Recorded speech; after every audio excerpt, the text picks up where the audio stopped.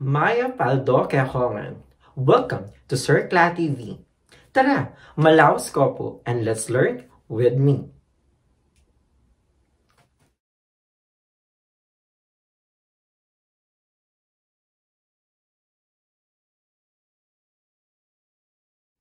Hi everyone! So, ang topic natin for today is about the language of mathematics.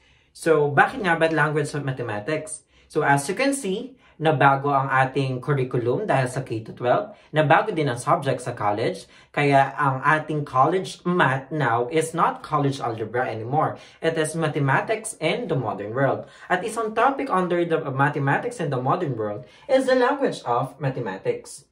So, let's start. Una sa lahat, i-define muna natin ang salitang language. Ano nga ba ang language? Ito ay isang instrumento para sa komunikasyon. Ito ay ginagamit upang tayo ay magkaintindihan. Pero para tayo ay magkaintindihan, dapat ang lingwahe na ginagamit ng kausap mo ay kapareho sa ginagamit mo. Halimbawa ay ang mga sumusunod na kapampangan phrases. Malaos ko po, lalalayang lalala. Kung hindi natin alam ang lingwaheng kapampangan, hindi nyo maiintindihan kung ano ang ibig sabihin ng dalawang yan. Ngunit, kung meron tayong alam sa Kapampangan, alam natin na ang una ay nagkakakulugang tuloy. Tuloy po kayo. Or pasok. Pangalawa, ang ibig sabihin ay gumagrabing gumagrabe. Bakit nga ba natin sinasabi tong dalawang to? Or ba, ano nga ba ang punto ng dalawang halimbawang to? Ganon din kasi sa ating language of math hindi natin maiintindihan ang language of mathematics kung hindi natin alam or hindi natin naiintindihan ang language of mathematics. Na ngayon ay ating tatalakayin upang mas lalo nyo pa siyang maintindihan. Mag-start tayo sa pagkukumpara sa English language at sa math language. Mula sa kategoryang name, sa English, ang tawag natin ay noun. Sa math, ang tawag natin ay expression pareho silang mga bagay na gusto nating talakayin o pag-usapan. Example, Carol loves mathematics. Si Carol at si mathematics. Sa math, 5, 1.2, plus 6, at saka 3x minus 3. Susunod, sa English at sa math, pareho lang ang sentence. Lahat ng yon ay may complete thought dapat. Carol loves mathematics. 1.2 plus 6 equals 7.2. Sa English at sa Math, meron din tayong synonyms. Ang ating pagkakahulugan sa synonyms sa English ay different words with the same meaning. Sa Math naman, the, uh, the same object but different names. Example, group, association, team. Beautiful, pretty. Sa Math, 1 plus 2 plus 5 ay kapareho lang ng 8. 1 half plus 1 half, 2 minus 1, or 5 divided by 5 or 5 over 5, lahat ng yon ay tungkol sa 1. Ngayon naman ay mag-translate tayo ng English phrases or sentences into mathematical expression or equation. Pero tandaan, dito we are to put words into symbols and we are to use as few variables as possible. So simulan na natin. Una, 2 plus 3 equals 5. So kung makikita ninyo, meron tayong 2, 3, and 5 na alam naman natin kung paano isulat into symbols. At meron tayong word na plus na nasa kategorya na addition. So kung ating itatranslate ito into mathematical expression, siya ay magiging 2 plus 3 equals 5. Ang susunod naman ay the product of two numbers.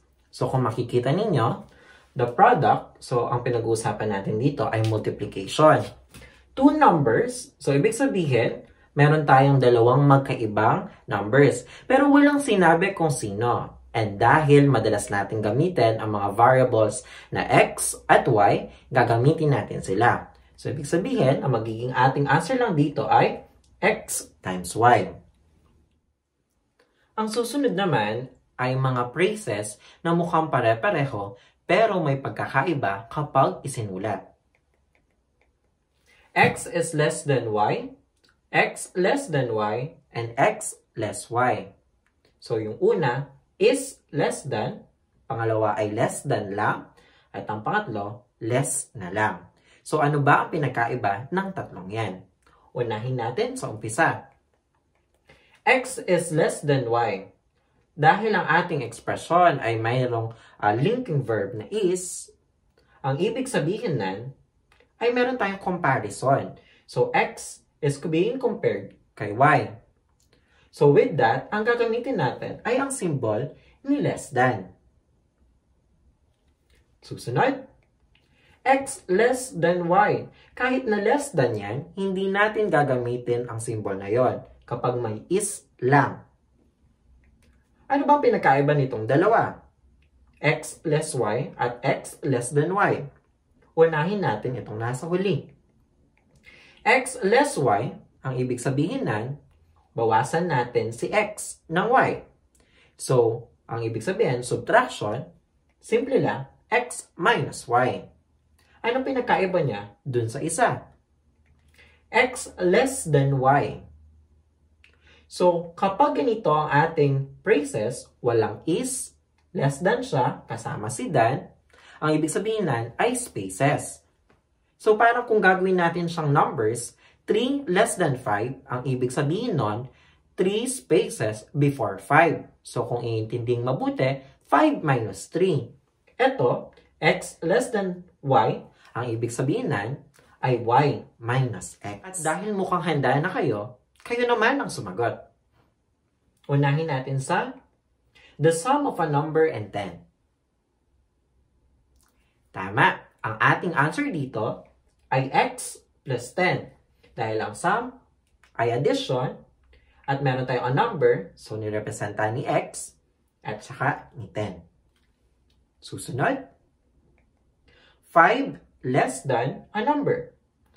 So kung nakinig kayo doon sa una nating discussion, less than, wala yung is, meron tayong than, so ibig sabihin, x minus 5. Next, the square of a number. Ano bang ibig sabihin ng the square? Ibabox ba natin si number? Hindi. Ang the square dito ay exponent. Tama. So, kung exponent siya, and we have a number, isusulat natin siya na x squared or x raised to 2. At ang huli, 4 times the square of a number. Ang times ay nangangahulugang multiplication.